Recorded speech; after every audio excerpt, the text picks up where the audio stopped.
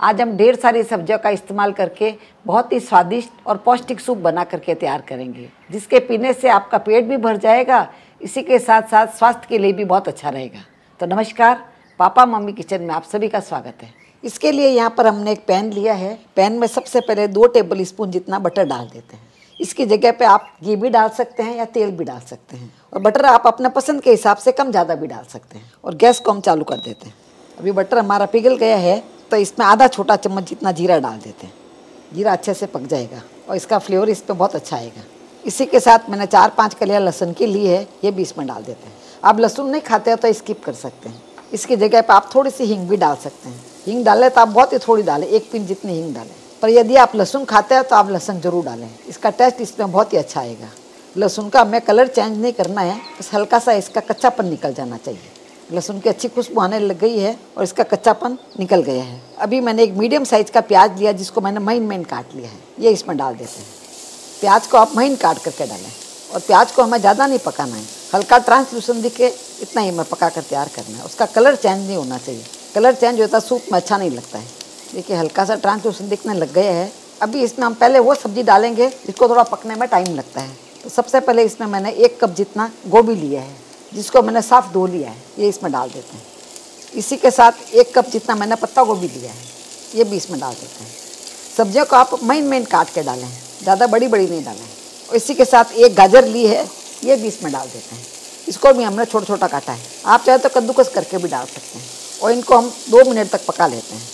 इन सब्जियों को वैसे हमें आगे और भी पकाना है, पर इस तरह से हम बटर में पका लेते हैं तो उसका स्वाद कई गुना बढ़ जाता है।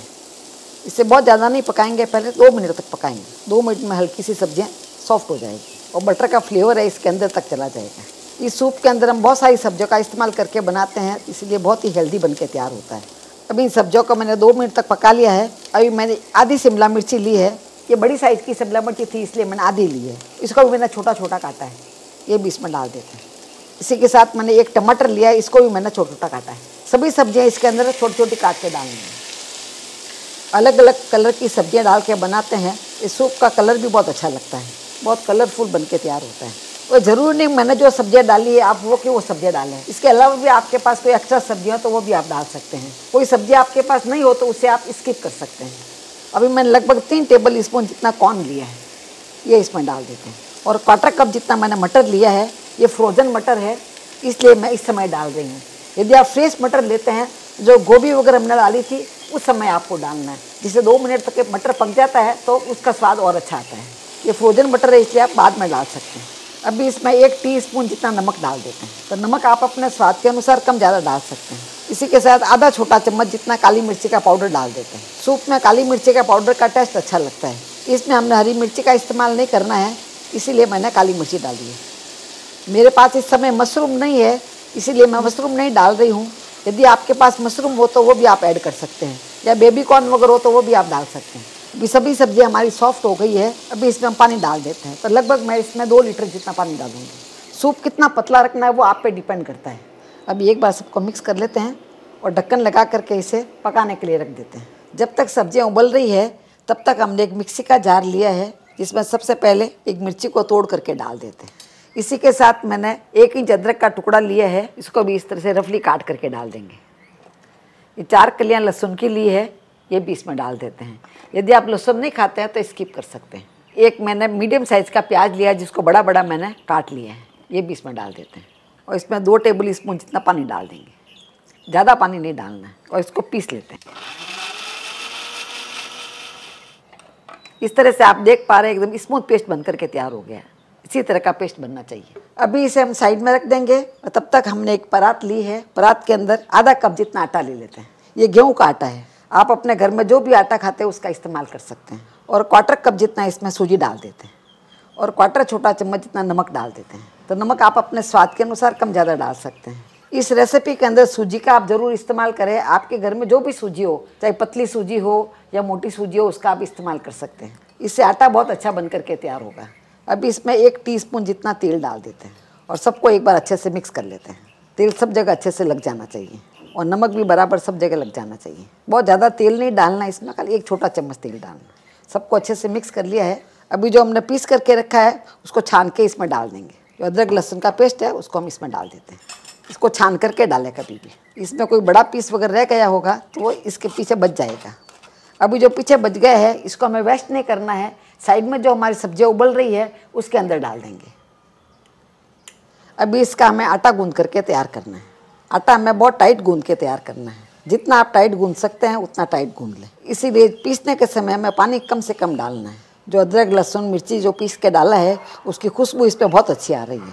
ऐसे हमारा आटा गूंद करके तैयार हो गया है। इस तरह टाइट आटा गूंद करके तैयार करना है। तो यहाँ पर मैंने पीसने के समय जो दो टेबल स्पून पानी ऐड किया था, उसी से हमारा आटा गूंद करके तैयार हो गया है।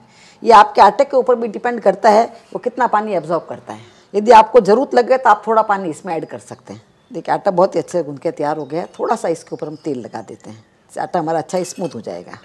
ये आटा हमारा बहुत ही अच्छा बन करके तैयार हो गया है, देखिए। कितना आटा टाइट आटा है काफ़ी। अंगुली हमारी इसके अंदर नहीं जा रही है टाइट आटा है। अभी इसको हम दो पार्ट में डिवाइड कर लेते हैं और इसे गोल बना लेते हैं। अब ये साइड में हमने सब्ज़ियाँ उबालने के रखी थी, उसको चेक कर लेते हैं। तो आप देख पा रहे हैं सब्जियों में बहुत ही अच्छे से उबाल आने लग गए हैं। इसे मैं मैं आपको बता देती हूँ, इस रेसिपी के लिए आप इस तरह का कद्दूकस ले सकते हैं, जो कि बड़ा वाला कद्दूकस है। और एक मीडियम साइज़ का कद्दूकस होता है। इसके होल थोड़े छोटे होते हैं। ऐसा आपके पास है तो इसका भी इस्तेमाल कर सकते हैं। या आपके पास इस तरह का कद्दूकस हो तो वो भी इस्तेमाल कर सकते हैं।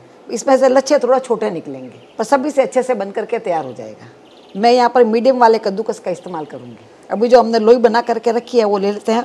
आँच को थोड़ा धीरे कर लेते हैं, क्योंकि इसके ऊपर हाथ रखेंगे तो हाथ आपके जल सकते हैं। आप लोई को इस तरह से ले लें और हल्का हल्का ऐसे करेंगे, आराम से निकलने लग जाएँगे लच्छे।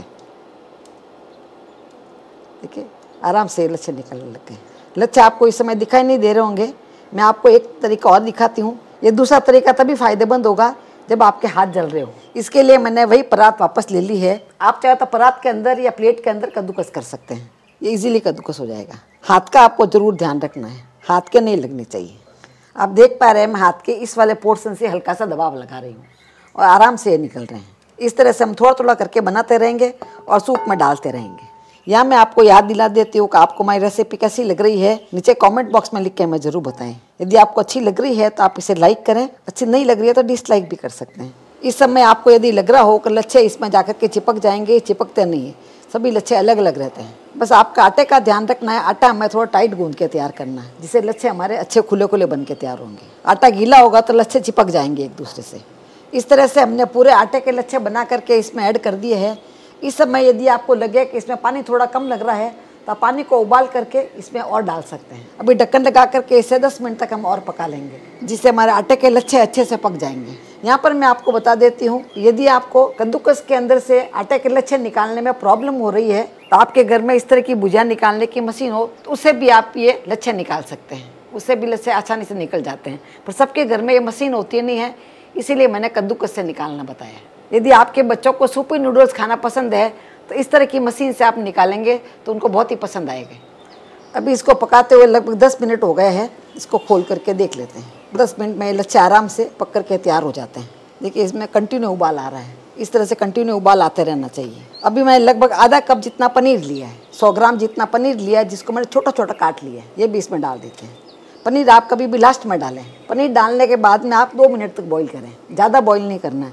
क्योंकि ज़्यादा बॉईल करने से पनीर क्या चूई हो जाता है, जो खाने में अच्छा नहीं लगता है।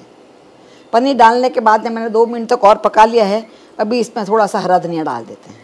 इस तरह से हमारा बेहद स्वादिष्ट और हेल्दी सूप बन करके तैयार हो गया है। अभी मैं आपको दिखाती हूँ, देखिए दिखने में कितना सुंदर लग रहा है। इसके अंदर आटे के लच्छे वो बहुत ही अच्छे लग रहे हैं। इस बरसात के मौसम में इस तरह का गरम गरम सूप आप पियेंगे तो आपको बहुत अच्छा लगेगा। खास तौर से बरसात के मौसम में या सर्दियों का मौसम हो उस समय गर्म गर्म चीज़ें पीने में बहुत ही अच्छी लगती है। तो अगली बार आपको भी कुछ हेल्दी और हल्का फुल्का खाने का मन करे तो आप भी अपने घर में इसे बनाकर ज़रूर ट्राई करें। फिर मिलेंगे ऐसे ही दूसरे वीडियो में। तब तक के लिए बाय एंड टेक केयर